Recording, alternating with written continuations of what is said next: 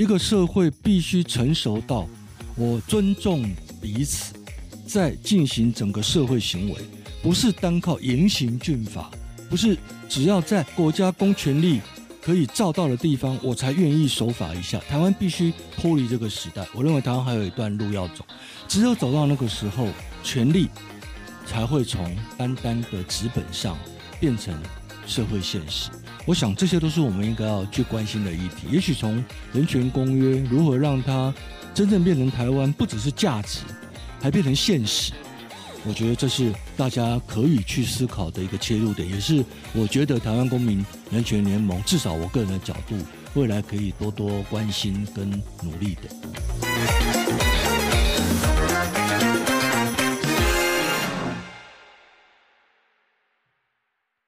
我们今天很开心，可以第三次邀请到林家豪老师来到我们法科电台。因为我们之前在促转星期四，还有在外送员议题的这些单元中，我们都有邀请过林家豪老师。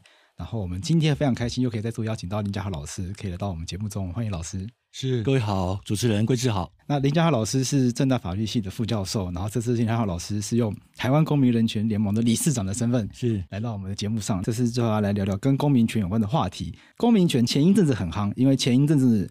大家都在讨论十八岁公民权，嗯，要不要把公民权下修到十八岁的这个议题？那很可惜，就是这个公投没有过关啊。嗯，对，这这个确实是蛮令人遗憾的。但在这个过程中，那大家就有开始讨论说，那到底公民权是什么？我想总是有公投是好的，因为有公投总是会去展开这样子的讨论嘛。那在这个讨论中，法白就发现到一个有趣的问题，就是对很多人来说，大家会觉得很多名词很像，可是。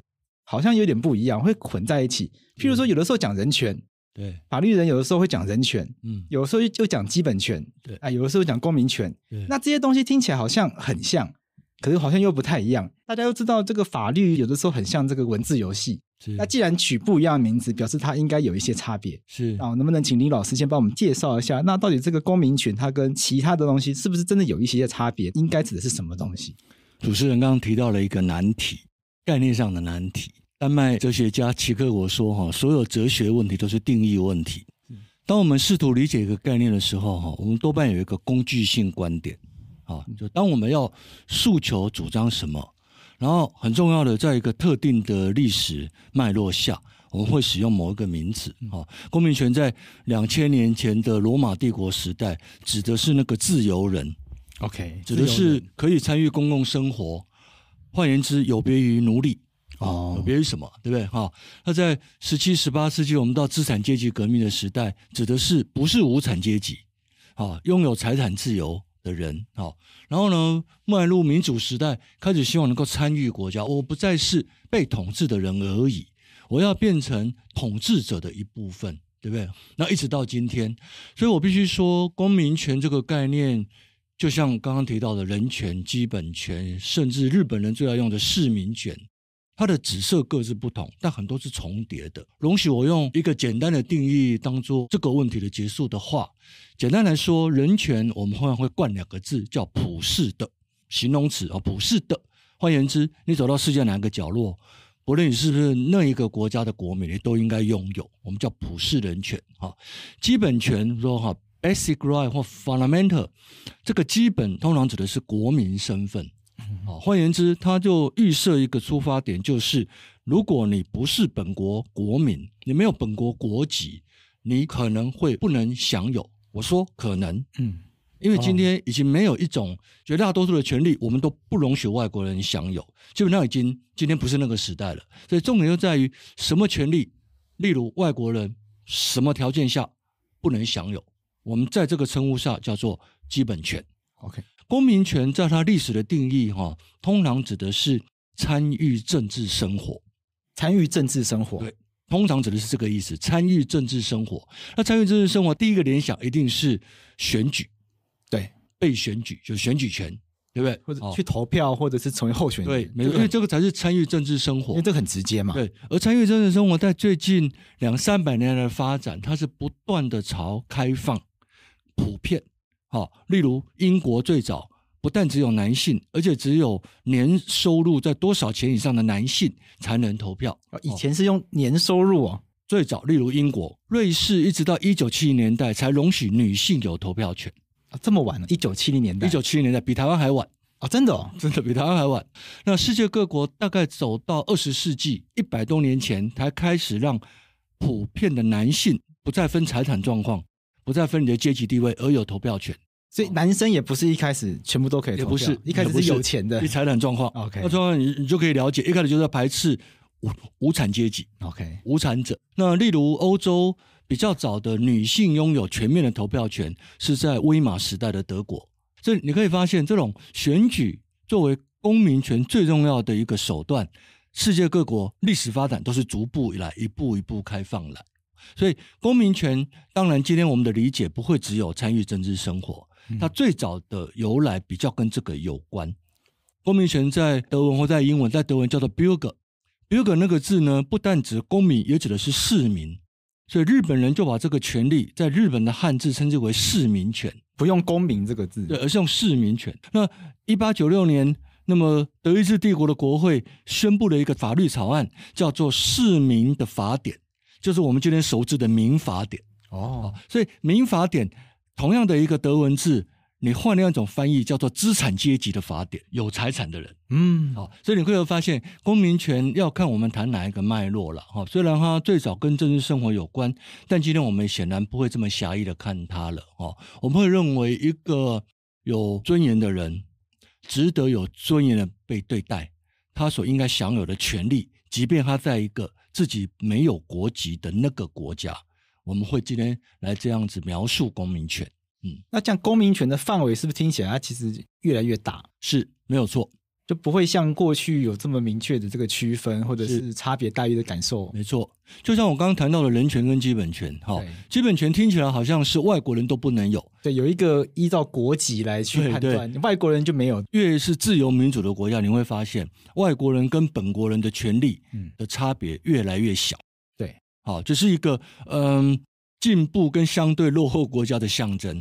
如果你到了一个国度非常多，随便举例就有外国人跟本国人明显的差别待遇，我们就会说那必然是一个落后国家，必然是一个相对不自由不民主国家。好，那倒过来，比方说我举个例子，例如北欧，北欧国家在三十年前就容许拘留满一定期间的外国人，没有本国国籍哦，可以参与公职人员选举。真的哦，没有国籍还可以选举，只要你拘留一定期间。最早当然是从选举权，嗯，后来慢慢开放到被选举权，从可以投票变成还可以参选。对，好，但当然在中央层级，呃，就比较没有那么样的开放。所以你会发现，其实不同的国家跟社会会根据不同的条件去思考这一个外国人怎么样的差别待遇是可以接受，或者说倒过来，外国人跟本国人都一样。是必要的，在什么程度内？好，所以各国路径会不同。嗯，我想拉开来谈一下，因为很多的听众会觉得，哎，为什么要给外国人一样待遇？像譬如说，在台湾有几个例子好了，是，比如说法律辅助，是啊，法律辅助在台湾外国人也可以申请，那就会有人觉得，哎，为什么台湾人的钱要拿去帮外国人打官司？这很奇怪，帮外国人告台湾人，对，这这个很奇怪。那为什么我们要有这样子的一个思维，是我们的资源要用在外国人身上？这其实是比较进步的。我们有很多种理论跟讲法在回答这个问题，哈。那因为时间关系，容我举个比较简单的，我们叫做在地连结。嗯，基本上只要在地连结性强的，我们就会认为不应该区分本国人、外国人。在地连结强，嗯，比方说他对这块土地有贡献，哦，例如在台湾工作一定期间的人，他对台湾有贡献，好，那有些呢？就未必这个最重要，有些是以国籍作为一个清楚的联系因素，它的重点在于国民的共同政治意志，或甚至某一种跟国家甚至某一种民族有某一种关联的，那他就会去排斥非本国人的外国人。比方说鉴宝，鉴宝呢，世界各国包括台湾，以欧洲为例，你在欧洲只要拘留超过三个月，你就必须加入鉴宝。而健保就是典型的在地型团结，我不应该区分国籍，好，那只要不是本国人，你即便拘留三个月以上，甚至一十年、二十年、二十年，我都不让你有鉴保，这是一个刻意的切断它的在地连结，嗯，这就是不对的。OK，例如他就不应该区分，对对不对？好，比较麻烦是我刚刚说的政治意志，嗯，因为政治意志、社会共同政治意志的形成，它代表的是国家产生那个统治机制的来源。通常它很难想象很大程度的扩及到外国人，所以大部分的国家只要涉及到中央层级，我们说中央政府体制，整个统治正当性的产生，几乎都会排斥外国人。对，不止排斥外国人，连外国的影响都不可以有啊。对，所以我们的政治现金，大家知道不容许外国人跟外国团体，对不对？对，那就是一个清楚的。所以我们会用这个标准，在地连结，涉及到公众政治意志的形成，涉及到统治正当性等等来做区别。是可以抓到一个标准，是有一些脉络可以循的。对，没错。那如果在地连结是这些事情是这些人在台湾有贡献的，那没有道理需要排除的。对，像鉴宝院这些人在台湾有贡献，是，然后跟台湾人也很多是好朋友。鉴宝这样的资源，他们在台湾有贡献的话，他应该让他们加入。是，其实应该超过他们。另外一个常用的概念就是人性尊严啊。好，当然了，这个也当然人言亦殊了哈。也许贵志跟我对人性尊严的想法，我们想法也许不一样，对不对哈？那。人性尊严也是一个常见的指标。我必须说，某一些例如选举权的排除外国人，向来不认为是人性尊严的问题，就比较容易被接受。哦，那我国家因为本国劳动市场的考量，哦，我必须保护本国劳工的就业机会，我不太希望那么很多就业机会被外国人抢走，所以世界各国对于外国人到本国工作的某些限制，也被认为。无涉人性尊严，可以被接受，对不对？好，但如果换个角度讲，呃，外国人在台湾生病了，那你家的事，我我我我任你死活，那就不是人性尊严，对不对？但任何事情都会有临界点，对，哦，比方说欧洲的庇护，谈到庇护，就我们说的难民，难民，大部分的国家都有两种难民，一种叫我们熟知的政治难民。政治言论自由啊，政治行动啊，被迫害、被打压的，被迫害啊，这我们大家很熟悉的，对不对哈？而另外一种难民就有趣了，另外一种难民叫做，如果把你遣返回你的母国，有害你的人性尊严。欧洲哈最大宗的这种难民类型，好，我不知道各位贵志或是各位听众可以猜猜看，最大宗会是哪一种人会认为自己如果被遣返回母国，伤害我的人性尊严？但不是政治理由哦，不是我刚刚说政治难民哦。但你应该让我庇护。我告诉各位，是艾滋病患哦，艾滋病患对，因为哈，世界上艾滋病罹患最严重的地区是在非洲。OK，而艾滋病要花很多钱，是英文说 it cost 要花很多钱，所以很多非洲不幸罹患艾滋病的人到了欧洲就申请庇护。嗯，因为我回母国就是等死，没办法治疗，我没办法治疗。啊，不管是因为医学技术，还是国家财政的匮乏，对不对？好，南非宪法法院有非常多艾滋病患控告政府，到宪法法院说，治疗我的钱政府应该帮我出，嗯，可是财政有限，对不对？好，类似这样政府没钱，对，好，所以有时候人性尊严，呃，在欧洲，我刚讲这个类型是一个很大的争点，是哦，因为此门如果一开，我们站在欧洲国家的。政府部门的角度来想，此门一开，那不得了了，那大家都来看病了，全世界都跑来欧洲国家看病了，对对不对？好，要看病你还要帮他出钱，OK，对对，所以我必须说，人性尊严我们大概有一些描述了，但有时候事情也没有那么单纯，有时候这不好解决，所以我们会发现，就是公民的这个议题，公民权的议题非常广，那像。我们看老师有参加过非常多的研讨会，是。就我一开始认识林家豪老师，是因为因为在前事务所做了一些跟工会有关的案件，对。那那时候是跟劳动法有关的议题，是。那后来在法白这边做处转新形式的时候，哎，因为转型正义的议题，又认识老师。就后来发现老师还有做体育协会改革，就发现老师的这个守备范围超级广，又是劳动法，然后又是这个转型正义，那居然还有体育法，这看起来都没有什么关联的议题。没想到老师这个学术非常渊博，那个触角非常的广，还是对老师来说，老师会觉得这些领域看起来虽然好像差别很大，可是老师会觉得它其实都是有关联的。如果我们硬要说它有关联哈，我可以随便编一些很美好的名词告诉你它有关联哈。但我觉得还是诚实一点吧。OK 哈，诚实是上策。呃，应该跟我个人经历有点关联哈。我读大学跟硕班是让我都是专攻宪法。OK，专攻宪法哈，所以宪法一直是我最重要的，应该说学术兴趣所在，仍然是宪法哈，特别是国家理论哈。然后我个人一九九二年到一九九九年在德国，那有趣的是我在台湾读硕班。读正大法研所，哈，现在正大法律系硕士班的时候，因为一些缘故，我参与了呃劳工运动，是，这是一个重要的契机。当时也当了一九八零年代末期，我也当了当时的台湾劳工阵线，虽然时间不长的，嗯，不算正式助理了，好，所以呢，我在硕班的时候开始接触到劳工的议题，但不是我当时学术关心所在。可是呢，我九二年去德国，我就想做一个跟劳动者有关的宪法议题。不幸的是，我找错老师，我找到一个劳动法老师。老师哦，那台湾跟德国跟日本都很像，绝大部分的劳动法老师都是民法老师，并不是公法老师。哈，我老师就叫我从头开始读劳动法。OK，所以呢，后来回到了台湾哈，我一直到目前为止，我的劳动法跟宪法的研究大概是一半一半。嗯，啊，这几年我的宪法研究多于劳动法，我这几年做了不少民主理论的研究。哦，因为民主是跨法律跟政治了。那至于体育运动是跟我从小有关，因为我从小就是运动员。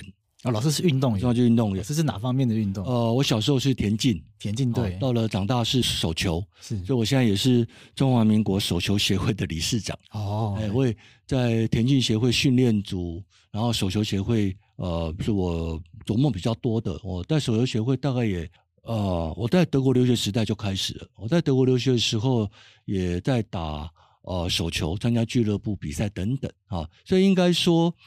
呃，一些关怀比较是站在我个人的出发点，是啊，就是我自己有一些经历的关系，所以我就有那个热情跟关怀。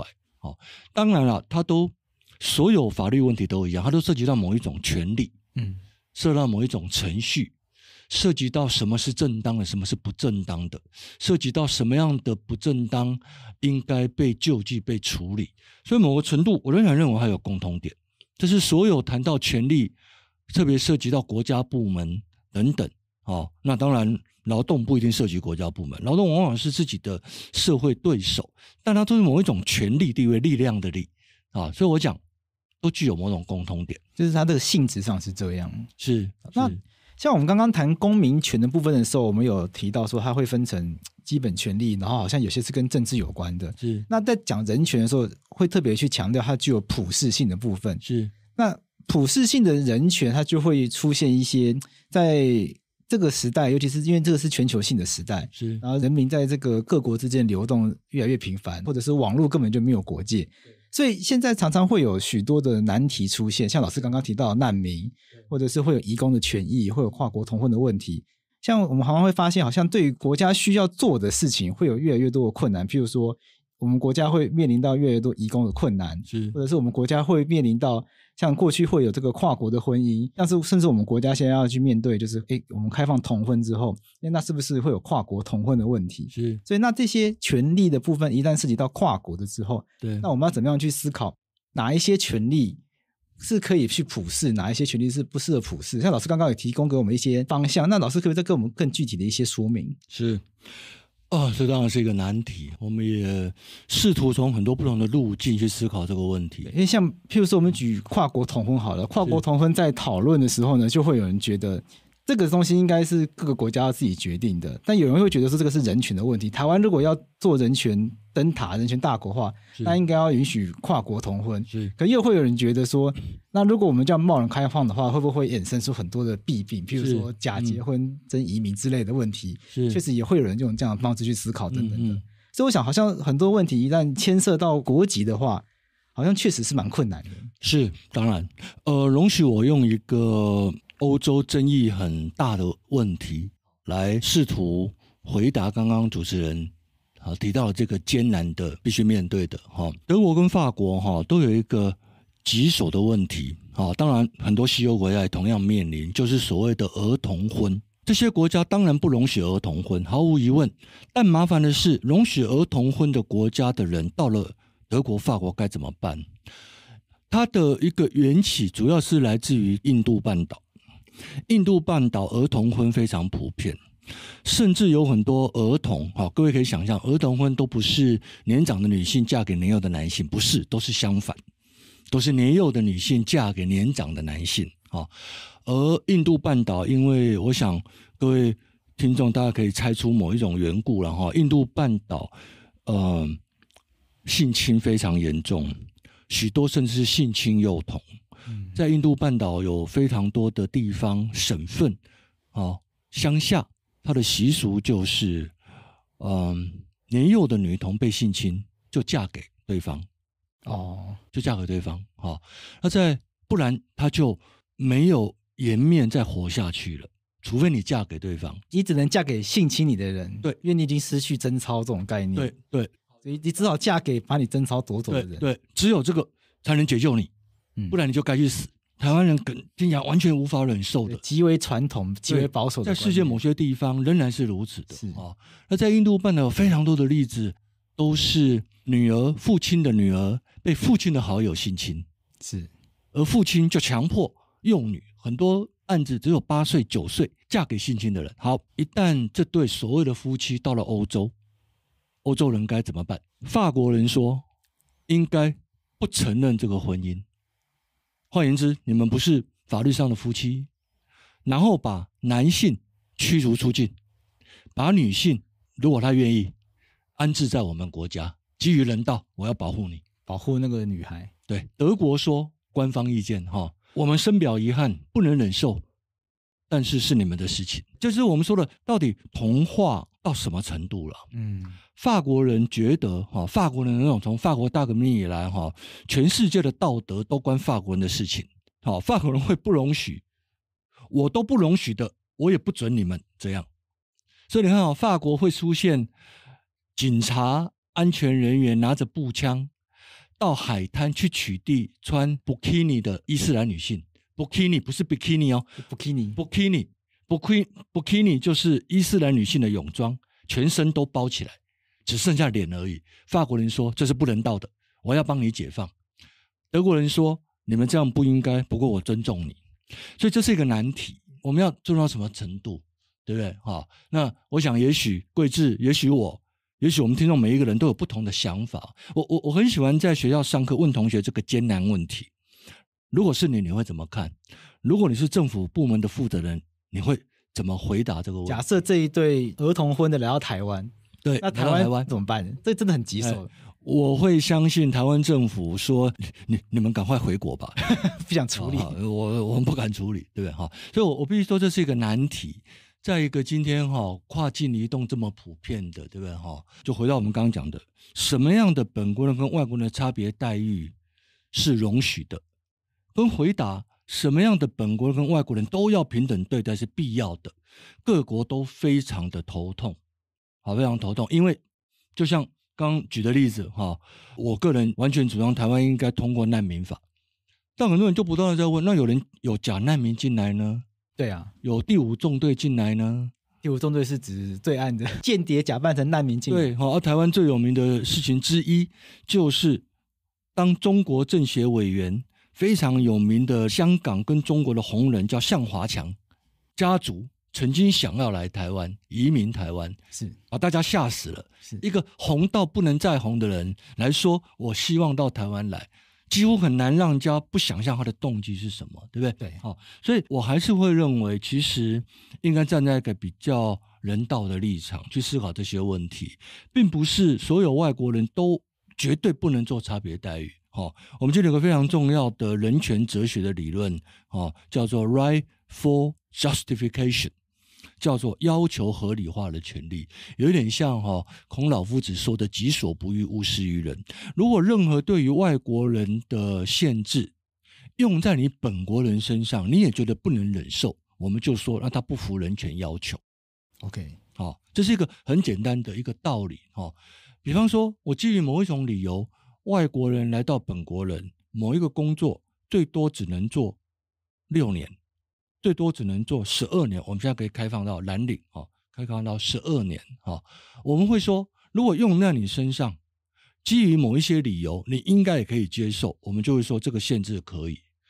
可是换一个角度，台湾在二十年前是在陈局劳委会主委的时候废掉的。我们在二十年前进来台湾的移工，女性移工每半年要做一次健康检查，还要验孕，要验孕啊，要验孕啊，听起来好像很好，帮人家检查，听起来好像很好。那其实检查呢没有怀孕，对。然后呢，验寄生虫，验传染病。有趣的是，六个月前我没问题，六个月后我有问题。我想请问各位，这个传染病跟寄生虫是在哪里得到的？台湾得到，台湾得到的，毕竟台湾重大。可是我们过去的做法就是，那就驱逐出境，这就是不服人权。那这很奇怪啊，对不对？好，台湾不干净，不是他，是台湾不干净啊。对啊。好，你如果说哎，入国前检查不过，很多国家入国前特定的检查不过，不让你入境。大家也许觉得有问题，但很多国家都这样做。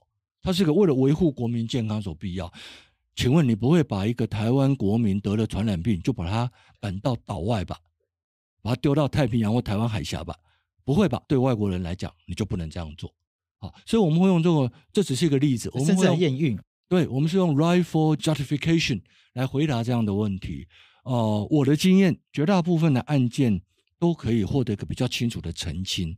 什么叫做我们对外国人不该有差别待遇？是。老师，像这次跟许多前辈，像前一阵子来我们节目的陈律师，是那发起的台湾公民人权联盟。对，像这一次这个联盟，像陈律师那次是来谈跟检察官改革有关的议题。那老师这一次是不是也会想要在这个联盟里面去谈一些，譬如说劳工议题、性别议题，是这些其他人权议题？老师会觉得我们这个联盟会是人权议题的串联者吗？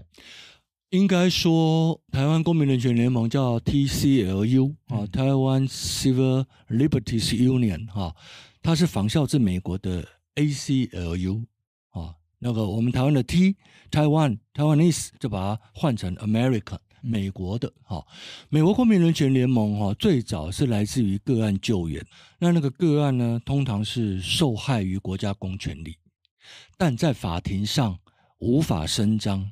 或根本被阻止在法庭之外。各位可以想象，在美国早期最有名就是黑人民权运动，哦，就 separate but equal，好的这个哈。那公民人权联盟当然我们就可以知道哈，个案往往来自于通案的反应的结果，对不对？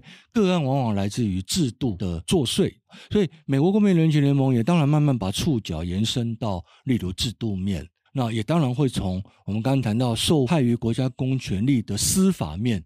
慢慢扩展到其他的面向，对不对？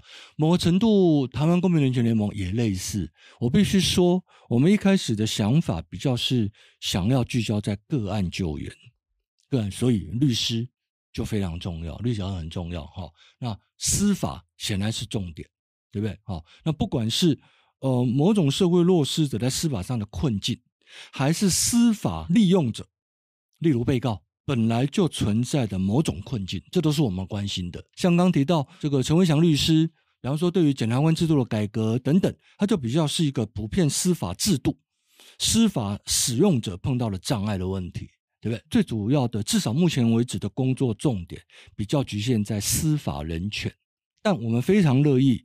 也希望未来有一个比较大的进展，是作为很多公民权议题，就像我们今天聊到的那一些的一个某种平台，不管叫做串联，还是由我们作为一个主要的发声者，我想我们都非常乐意。必须看未来特定议题的特定条件。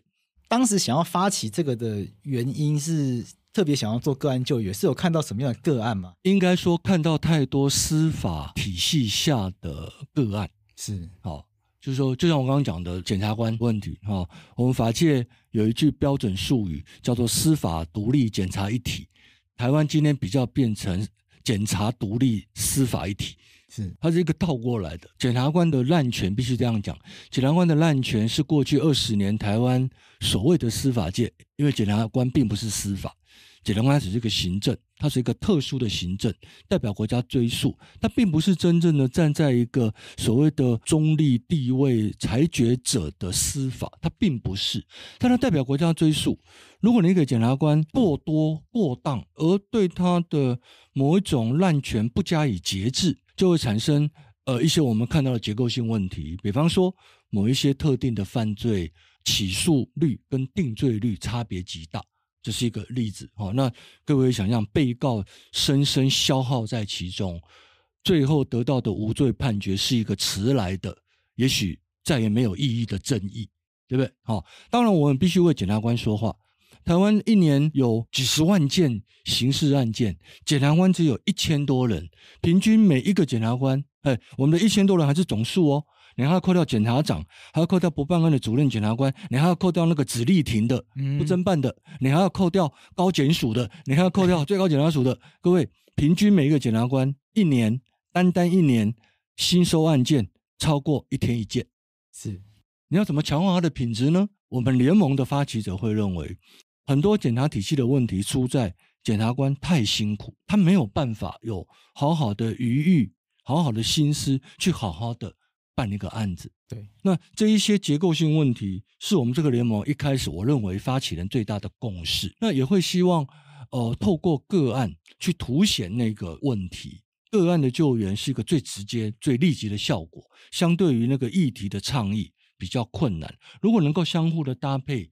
引起社会的关注，也能够让至少在个案上的当事人能够有一个比较好的对待跟平反。那我们有现在有哪一些个案吗？目前必须说还没有。我们有几个个案啊，有些个案当事人并不愿意去采取，对，那我们必须尊重。那目前应该算有一个真正已经开始在处理的个案哦，那是有关于毒品。啊是哦，有关于毒品哦，那这一位当事人目前已经在服刑，是一位很年轻的女性啊。我也不好在那边详述她的情节，如果容许我简单的讲，就是我多买了两包大麻，嗯，今天桂智也吸大麻，桂智正好说，哎，我没有，你有吗？哦，我都有啊，那一包给你，嗯，哦，我买多少钱，那你就给我多少钱，就这样判九年半，哦，因为等于贩毒。对。我们对于贩毒的想象是像这样吗？是。日耳曼唯心哲学家黑格尔哈有一本很有名的著作叫《法哲学原理》。法哲学原理的第一段讲了一句有名的话，他说：“哈，人不需要是鞋匠，也知道鞋子合不合我的脚。嗯，人不需要写法律，也知道这个法律好不好。各位，我们从我们一般的 common sense 去想象，我身上两包大麻，嗯。”一个认识很久的朋友问我说：“哎，礼物不？来，一包先给你。啊，你买多少？我买一千，让你给我一千。跟我们用重刑准备伺候去阻断社会上贩卖毒品危害社会的，各位觉得一样吗？其实是完全不一样的脉络嘛。是，但是确实现在毒品危害条例它都会往这个很重的方向前进。然后答案是，结果是九年半。这位不到三十岁的女性。我们估计她可能快四十岁出狱，啊，她在从事一些创意工作，是啊，那因为有过一些留洋的经验，所以在美国经常有吸食大麻的这种等等，对不对？啊，就是说大家都厌恶毒品，大家觉得毒品不应该，所以我们应该用这个出发点去面对这样的问题吗？嗯，哦，我我觉得这是值得我们深思的。这个议题有没有必要这么重？对，就是这个案例应该要把它拿来跟。这些毒枭卖毒是等量齐观吗？是，这是朋友间分享，当然不对。因为吸毒的人，我们当然都是希望大家要去治疗他，要去让他不要再吸毒，对，要去改变他，让他身体越来越健康。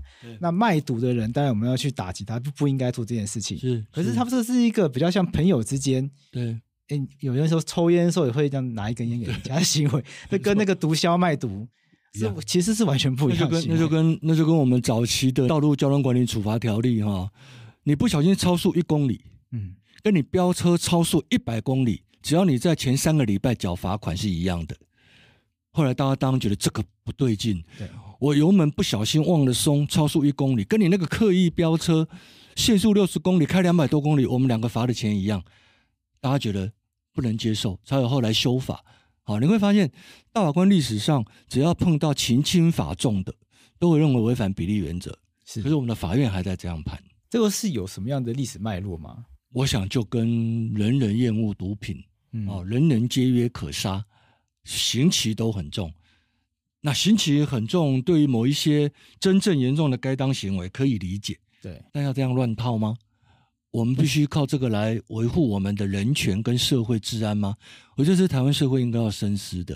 嗯嗯。那老师，你觉得我们台湾社会还有哪一些重要的人权议题或公民权议题？可能这个社会我们平常比较少关注，可是我们可以利用机会可以分享给我们听众。其实我想一个比较简单的切入点，就可以从台湾在过去几年的施行法化的国际人权公约就可以看出一些。比方说，我们已经施行法化所谓的儿童权利公约，儿童儿童的受侵害，儿童他是最没有能力保护自己的，儿童。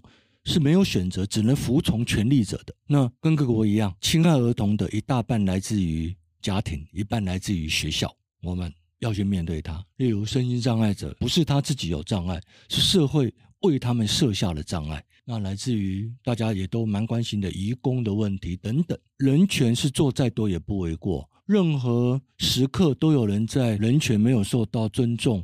以及被侵害的困境跟黑暗中，我想这些都是我们应该要去关心的议题。也许从人权公约如何让它真正变成台湾，不只是价值，还变成现实，我觉得这是大家可以去思考的一个切入点，也是我觉得台湾公民人权联盟至少我个人的角度，未来可以多多关心跟努力的。我们可以努力把这些。真正重要的人权价值，把它推广出去。我觉得，当大家民众真的都理解，然后大家真的都接受，那久而久之，哎，大家其实就会实践在日常生活里面。是，那真的大家都实践的时候，哎，其实它就变现实了。我们文化的一部分。对对，那我们就其实也距离那个就不远了。是，权利不只是价值，权利是一种必须内化的东西。嗯，我们台湾一定要学到，我今天愿意让行人先走，不是因为。法律处罚很重，而是因为下次换我走马路，我也期待别人尊重我。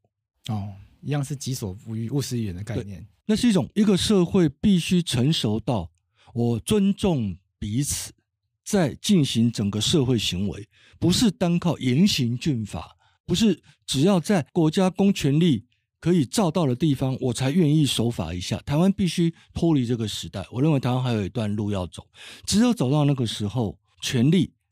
才会从单单的纸本上变成社会现实。好，我们今天非常感谢林家浩老师来跟我们分享公民权这样子有关的话题。然后林家浩老师也跟我们分享非常多公民权到这个基本权到人权，其实用非常多生活化的方式让我们理解，其实这些人权这些权利。